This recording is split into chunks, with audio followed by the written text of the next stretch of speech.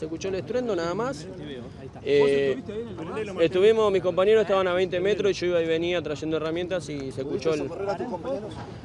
Yo no, eh, ellos estaban bien porque estaban un poquito retirados ahí, pero los que la pasaron mal los que estuvieron arriba de la estructura, que fue una estructura de 18 ¿Qué fue metros. lo que pasó? Se, aparentemente se, se desmoronó un andamio.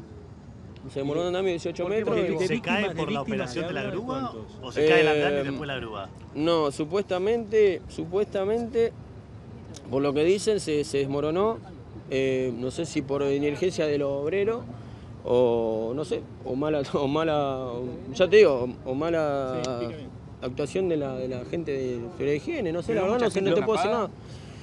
Y decían 15 personas, eh, seguían sacando gente, eh, hasta salió un muchacho de adentro medio conmocionado diciendo que hubo tres muertos. ¿Habían tenido problemas con anterioridad? No, ni idea. ¿Había una No fecha sé. de inauguración?